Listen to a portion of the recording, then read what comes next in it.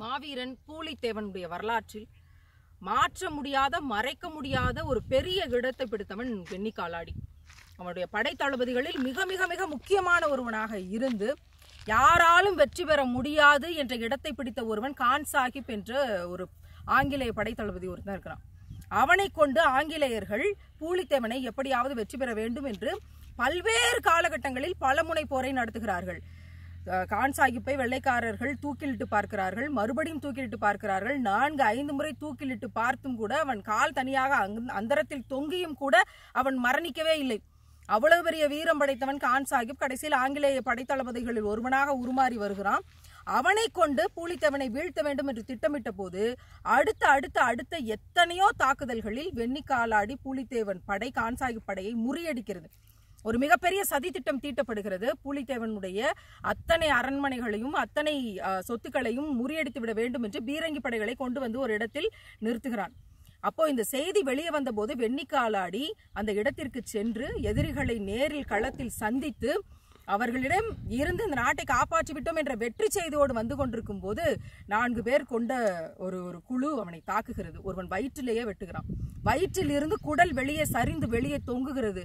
தொங்கிய குடலை எடுத்து வயிற்றுக்குள் திணித்து விட்டு தலையில் கட்டியிருந்த தலைப்பாகையை உருவி தன் வயிற்றை இறுக கட்டி கொண்டவன் மிக வேகமாக வருகிறான். இந்த செய்தியை எப்படியாவது மன்னரிடத்தில் சொல்லிவிட வேண்டும் என்று சொல்லி வந்தவன் எதிர்ப்பட்ட குதிரைப்படையை எதிர்கொண்டு தனியாளாக வயிற்றிலிருந்து செங்குருதி கீழே வடிந்து கொண்டிருக்கிறது. அதையெல்லாம் தாண்டி தன் ஒற்றை வாளால் அவர்களை வீழ்த்திவிட்டு அங்கிருந்த ம- மிச்ச வீரர்கள் ஆங்கிலேய படை வீரர்கள் அவனிடமிருந்து தப்பித்து காட்டுக்குள் சென்று ஒளிந்து விடுகிறார்கள். இந்த வெற்றி செய்தியோடு வருகிறான். அவன் வந்து பூலித்தேவன். தன் அரசனை சந்தித்து உயிர் விட்ட இடம் இந்த இடம். இதைத்தான் காலாடி மேடு என்று சொல்லுகிறார்கள். வரலாற்றில் நான் தொடர்ந்து படித்த போது இப்படி மன்னனை சந்தித்து பூலித்தேவன் தன் மடியில் கிடத்தி அவனிடத்திலிருந்து வெற்றி செய்தியை பெற்றுக்கொண்டதோடு அவன் வயிற்றிலிருந்து வழிந்த செங்குருதி குடல் சரிய வந்து இந்த நிலத்துக்காக தன் மடியில் உயிர் துறந்திருக்கிற இந்த வெண்ணி காலாடிக்கு எத்தனை நன்றி சொல்லுவது என்று அவன் உயிரிட்ட இடத்தில் வயிற்றிலிருந்து குடல் வெளியே தெரிகிறது போல ஒரு சிலையை செதுக்கி ஒரு நடுகல்லை வைத்து இந்த இடத்தில் நடுகல்லை வைத்திருந்தார்கள் என்று இங்க இருக்க சுத்தி இருக்க ஊர் மக்களை கேட்கும்போது இதைத்தான் சொல்றாங்க.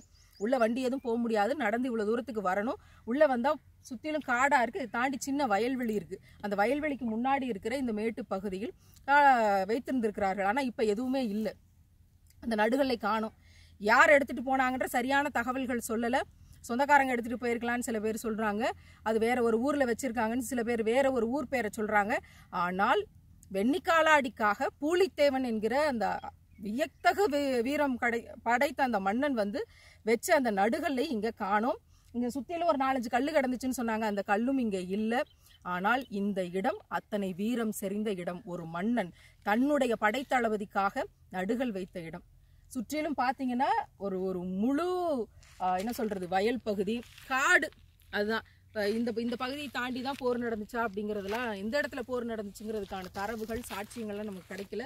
சுற்றிலும் முள்ளு காடு இதுக்கு நடுவில் வந்து பார்த்தோம்னா ஒரு சின்ன மேடு நம்ம கண்ணுக்கு தெரிகிறது இதுதான். ஆனால் வரலாற்றில் காலாடி மேடு என்ற ஒன்று பதியப்பட்டிருக்கிறது. அது இதுதானான்னு பார்க்கும்போது அத்தனை வைத்தறிச்சலாக இருக்கு.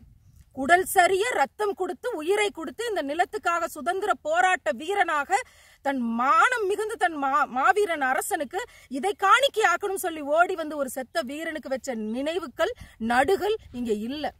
ஏன் இதை நம்ம பராமரிக்கல? ஏன் இதை வந்து மக்களுக்கு காட்சிப்படுத்தி கொடுக்கல? ஏன் இந்த வரலாற்று களங்கள் எல்லாம் வெறும் முள்ளு காடாகவும் யாருமே பயன்படுத்த தகுதியற்ற இடமாகவும் கிடக்குது? ஒவ்வொரு நாட்டிலும் புரட்சியையும் சுதந்திர போராட்ட வரலாறையும் அடுத்த தலைமுறை பிள்ளைகளுக்கு கண்காட்சியாக காட்டிக் கொண்டிருக்கும் போது நம்ம இடம் ஏன் இப்படி கிடக்குது? இவற்றையெல்லாம் மீண்டும் சரிப்படுத்தி இந்த காலாடி மேடுங்கிற இடம் இதுதான்ங்கிறத உறுதிப்படுத்தி மீண்டும் இங்கே வந்து இதற்கான நினைவு சின்னங்கள் சிறிய அளவிலாவது வைத்து அடுத்த தலைமுறைக்கு இந்த வெற்றி வரலாற்றை காட்டணும். ஒரு காய்ச்சல்னு சிரிஞ்சில் வச்சு சின்ன பிளட் டெஸ்ட்டுக்கு எடுக்கும் போதே நமக்கு அத்தனை ரணமாகுது குடல் சரிய செத்து போன ஒருத்தன் தன் மன்னனுக்கு இத்தனை விசுவாசமா இருக்க முடியுமா? இந்த நாட்டுக்காக இப்படி செத்து போயிருக்க முடியுமான்னு நினைக்கும் போது மிக மிக மிக பதட்டமாகத்தான் இருக்கு. இவற்றையெல்லாம் சரி செய்ய வேண்டியிருக்கு அப்படின்னு தமிழருடைய வரலாறு வெற்றி நிறைந்த வரலாறு தமிழர்களுடைய வரலாறு சுதந்திர போராட்ட காலத்தில் தமிழர்களுடைய பங்களிப்பு எத்தனை பேர் இப்படி செத்து போய் தங்களுடைய குருதியை கொடுத்து இந்த நிலத்தை காப்பாற்றி இருக்கிறார்கள் அவன் குருதியை கொடுத்து இந்த நிலத்தின் சுதந்திரத்துக்காக செத்து போனான்னு சொல்றாங்க. அவன் காலாடி மேடு வச்ச இடம் இதுதான் அப்படின்னா அந்த மண்ணும் செம்மண்ணாகத்தான் இருக்கு. இந்த செம்மண்ணும் செங்குருதியும் ஏதோ சில செய்திகளை இந்த நிலத்தை மீட்டெடுப்பதற்கான விடயங்களை சொல்லித்தான் தந்து கொண்டிருக்கிறது. இது அடுத்த தலைமுறைக்கு கொண்டு போய் சேர்ப்போம். புரட்சி உங்கட்டு